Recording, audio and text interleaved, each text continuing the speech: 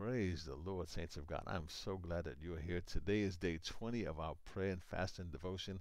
I'm Aaron Lanier, and today we're going to look at the whole package. Now, wholeness to many is something that's unattainable, and more people live a life that's uh, fragmented. You know, there's a little bit here and a little bit there, you see, but not actually coming together, not bringing it to completion. You see, and so the lives that they allow themselves to live uh, is a life a lifestyle that's kind of mundane. It's kind of um, a normal lifestyle. You see, but God wants us to experience the to- the the the wholeness, the the totalness of of who He is. He wants you to live a lifestyle that reflects His goodness. He wants you to be overflowing with goodness, with blessings, with joy, with peace in every area of your life. You see, so God never intended for you to live a super normal life or uh, a life that's just kind of flat. You see, God, God wants to take you higher. He wants to take you over and above. Amen. He wants you to have the whole package. You see. And so the whole package is you just walking in the complete fullness of who He is and what He had planned for your life you know the story. Uh, Jesus one day when he was uh, headed to Jerusalem, and as he entered into Jerusalem, there were ten lepers who turned back to him. No, they they cried out. Excuse me. They cried out. Jesus, have mercy on us. And you see, when he saw them, this is what he did. He told them, he said, Go show yourself to the priest. And as they went, they were healed. You see, so your healing, your wholeness, your your fulfillment comes from you being obedient to what the Lord has instructed you to do. You see, so when he told them to go show themselves to the priest, as they went, they were healed. As they acted and as they were being obedient to what the word said, then they they were healed. They were whole. You see, so as they're going on their journey, going to show themselves to the priest, you know, then they can see that their bodies were being healed. You know, uh, leprosy is basically it's a, a type of skin disease, and you know, it's it's like sores and you know different things and pus and you know stuff that you don't want to see.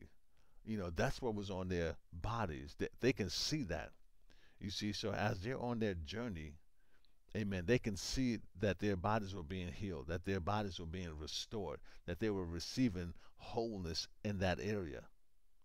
You see, so when you're acting in obedience to what God has called you to do, you're going to find fulfillment. You're going to find wholeness. You're going to find yourself walking in the total victory, the, the wholeness that God intended for you to have. You're going to have the whole package. You see, and so one of them, he turned around when he saw what was happening in his body, he he he just got excited and he turned back and he went to praise God. He fell on his face. Amen. Giving glory to God because of what had happened.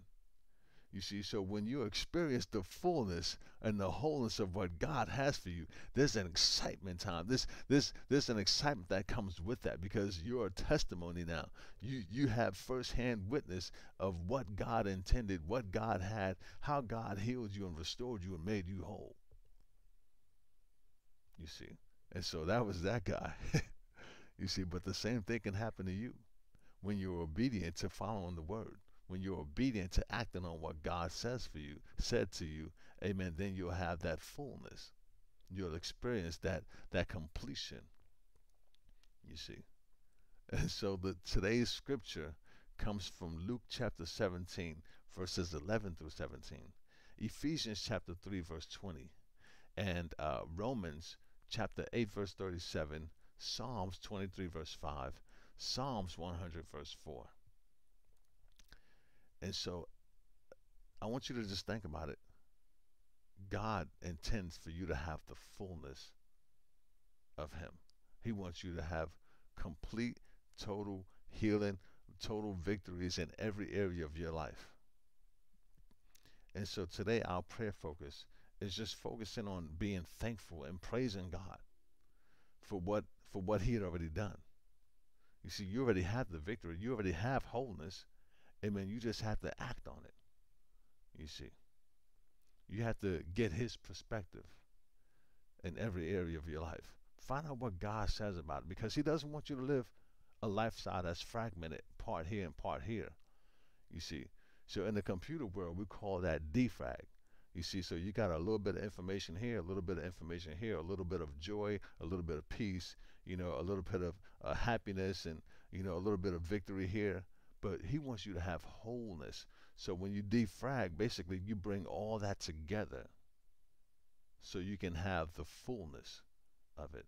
So God don't want you to live a defrag, a, a fragmented life. So God's intention is for you to be complete in every area. And so let's go ahead and pray about that. Father, we thank you. We give you glory. We thank you, Father God, that we walk in total healing. We walk in total victory in every area. We thank you, Father, for supernatural favor in every area of our lives. And we thank you, Father God, that we receive the whole package, what you intended for us to have. I accept it and I receive it, and I thank you for it, Father, in Jesus' name. Amen. And if you pray that prayer, amen, you'll walk in the total in the total victory that God intended for you to have. In Jesus' name.